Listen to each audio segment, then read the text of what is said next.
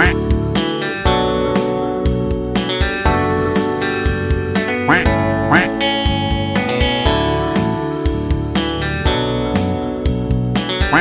quack.